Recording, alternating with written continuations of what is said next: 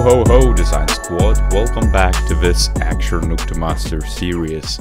And you know, it's a festive season with a lot of free time for you to actually explore new skills, maybe learn something new, you know, besides eating food and socializing and also do something productive. And today I'm gonna walk you through one of the tutorials which has been published by Axure's technical writer and content manager Anthony Lehr. He basically showcased this awesome prototype of you know a lot of different snowflakes and particles. You can basically then apply this same principle for any type of you know a banner or a header where you want to animate the particles in. If you want to check this tutorial you know all credit goes to anthony and Axure team. You can just go to their blog and explore further. I'm gonna have the link down in the bio but i'm also gonna show you how to do it as well. So if you want to follow along and maybe video is a better way to do so i think it's perfect opportunity then to apply these new learned skills and make something awesome. So without further ado let's jump right into it. First and foremost, what we need to do is probably to set a background, because if our snowflake is white, then we need a background which could be something like, I don't know, we could set it to, let's say, the dark blue, or even darker blue, or even darker blue, something like that. What we need next is really a snowflake icon or a shape. And so I picked this little snowflake, and a good thing would be to resize it quite small, because we are basically going to randomize the size of a thing and it's all, all going to be taken care of by Axure's underlying code to randomize it. And so I'm going to make it maybe something along the lines of maybe 20 pixels or so. And it looks really tiny. I know that for sure, but imagine if we're gonna randomize it to let's say 10 times the size, which we wanna do that anyways, it's gonna become massive. Now I have my little tiny snowflake. What we want to do next is really just create a repeater widget so we can actually contain those snowflakes in. And let me just copy it in into our repeater template. We don't need anything else but just a snowflake in just a corner of it, like so and boom. First and foremost, I'm gonna set snowflake value to, let's say, the size of it. So I'm just gonna set it to size and then delete few rows because we don't really need it yet. We're just going to use one item and then multiply it. Next, what we're going to do is, of course, go to our interaction. You know, item loaded is the key feature or function which takes the information out of repeater and preloads it. And we have set text by default. We don't really need that. Instead, what I'm going to go for is set size, which is basically we're going to start by setting a randomized size or, or size which corresponds to the row in the dataset which we just defined.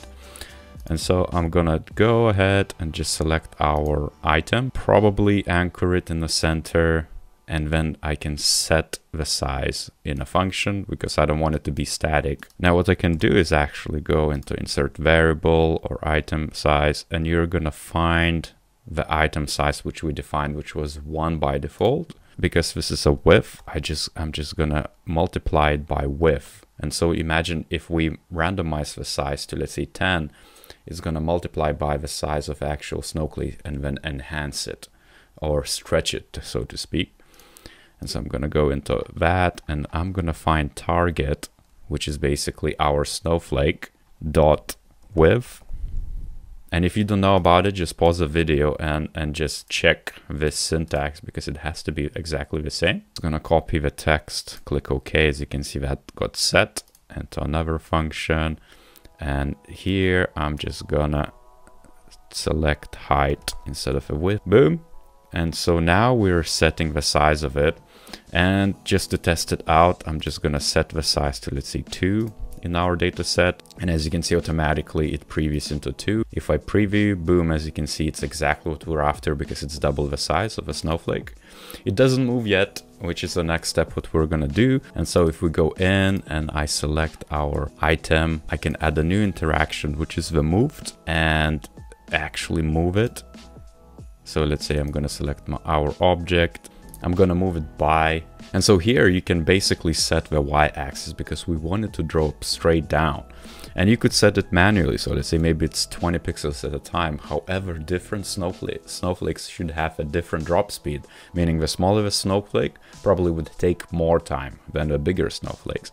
And so what I'm gonna do is really just delete that and just detect the actual height of the snowflake and just drop it by that because it's going to be variable in that case, right? So I'm going to go back and find that this dot height, let's say, so this snowflake dot height. And so it's always going to be variable and we're gonna basically be pushing it down by this state. And then we can also add the animation. So let's say linear, half a second, so it animates down quite nicely. Uh, there is no you know jagged animations or so it's going to be quite nice and then we also want to rotate it right so i'm going to ch check the same object and i'm going to rotate it clockwise by zero no we want to go back into functions and again make it variable and so i could just literally rewrite it this dot height or select it from a drop down. It's up to you how you want to follow it. Click OK, maybe add another animation of a linear animations, click OK. And if I preview, nothing would happen. And it's just because we haven't moved it yet. So we're gonna need to trigger this action from the first loaded item in a sec. As you can see, we have item loaded and I could just add a trigger so I can fire an event. I select my object and just add an event which is moved because we are to target that event for that object. And you can basically see that here the logic is that we set it to size first and foremost, and then we start moving it. If we go deeper into the actual bit, then this is to get triggered, preview, and see if it moves.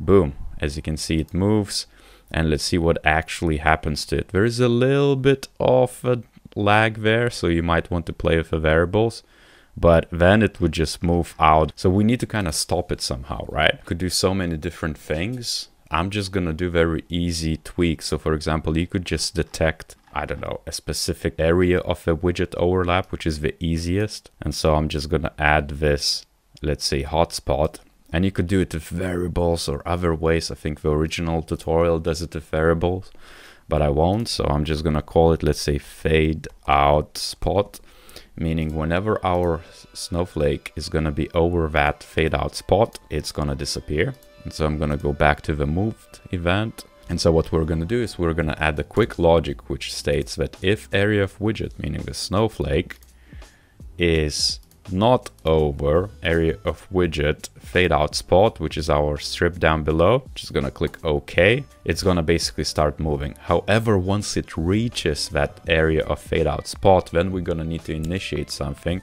And so we could add another case basically, which is else.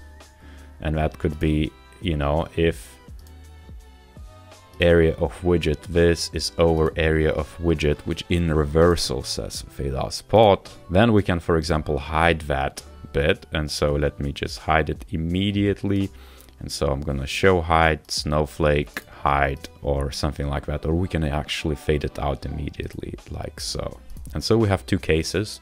One is uh, so we're moving it until once it reaches once it get out of it it's gonna fade out. If we preview let's see if it actually works as you can see, our snowflake is moving and it's rotating and it's all jolly, Christmassy and all, and boom, it fades out. And if we do it again, it, do, it does exactly the same thing. So now we need to make it smarter. We need to almost randomize the size of it, maybe even the position, you know, go crazy with it. And so next it's gonna be a bit advanced, but just, you know, bear with it because we set it to hide once we hit that point. We need to then select our object and just add new interaction which should be hidden. Because now we're saying hey what happens if you hide it actually? Because we want to reset it. We want to reuse the same exact component and then place it somewhere else so it can drop from a different position in a different size and make all that good movement happen. And so we're gonna say if it's hidden we can wait for maybe i don't know a second or so, or maybe even half a second, you know, if, if we're hasty. We can then delete the row out of our repeater. So if you scroll down to our repeater, delete one row because we need to reset the size of it. You could have done it if let's say global variables too, if you want to, but I think this is easier to understand. And I'm just going to delete this row. And then immediately after deleting, I'm going to add a new row for repeater and then add rows and here define a very specific bit which is as you can see we have size. So what we need to do is probably select a different size and make it random. So I'm gonna go into functions and just go crazy in here adding the math random And math random is basically a JavaScript function which is pre-built to generate random numbers. And it, you know, you might be new to programming and coding of different languages, and so it might be confusing, but then just simply copy paste what I'm showing to you or select it from the variable uh, drop down right here. And so if I go and go for random, you're gonna see that there's math random. So if I click random, it's gonna be predefined for me to what sort of random. Could solve it easily just saying plus one, and so it always adds a new one. However, the issue is that we are not gonna be able to cap it, meaning that let's say if a random number is I don't know, 12, it's gonna be 13. And so we might want to cap it to let's say 10 or so. It's gonna basically return from 1 to 10 in this case. And then we also want to do another bit, which is basically math floor. And math floor is just gonna be rounding the number so we don't get decimal values because otherwise we might run out, out of space when it, when it calculates. So math dot floor and I'm just gonna do like so. And as you can see, we framed math random x10, we floor it, and then we add one number. And so in this case, we're going to round it a little bit and then the result is going to be much more predictable and clean. And so if you are very new to this and you have no idea what's going on here, pause this video and just, you know, rewrite it as you see it on the screen. Uh, you don't even need to know that much, but once you get used to using, you know, math floor, math randoms, it just, it becomes second nature and it becomes quite easy to understand how to use it. And so that's almost done. We're going to click OK and as you can see our size now is going to be variable with a randomization. I'm going to click ok and let's test it out. I'm just going to bring our spot so it fades a little bit quicker like maybe here. And so if we preview you're going to see that this little fella is randomized. So this this size of it is literally a random value which is being picked up by our function. And as you can see, it's randomizing it. Yeah, and as you can see, the actual sizes of it are different.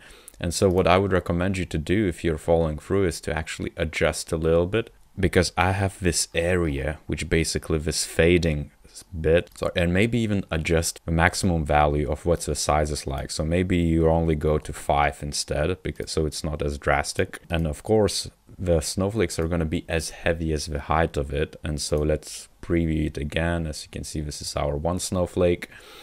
And the next round in a minute uh, let's see. It does what it's supposed to be boom. As you can see now it's a bit better and now it fades away and keeps generating snowflake by snowflake. Just adjusting it to 5 instead of 10 makes all the difference and so next what I'm gonna do is really you could either replicate the repeater itself and have you know more of them.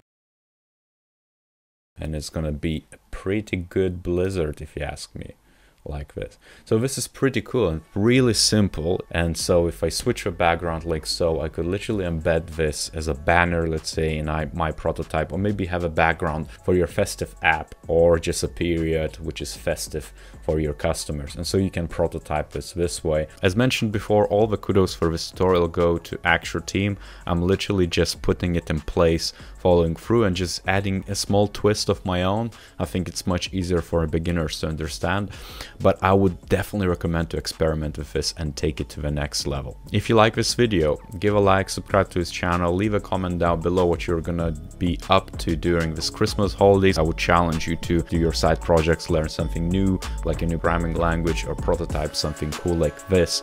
So, you know, get after it. So thanks so much for watching and as per usual, until next time.